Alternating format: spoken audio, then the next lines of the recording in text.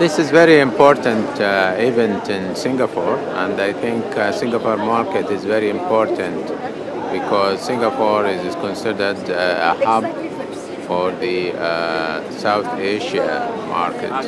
It is a window for a good number of population around us here in this part of the world.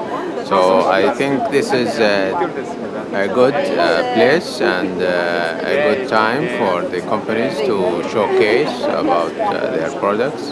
Cooperation between both Dubai and Singapore to work on this kind of uh, marketing and uh, build on the uh, Dubai Derma experience. Especially their uh, Dubai Derma has been in, the, in this business for the last 18 years.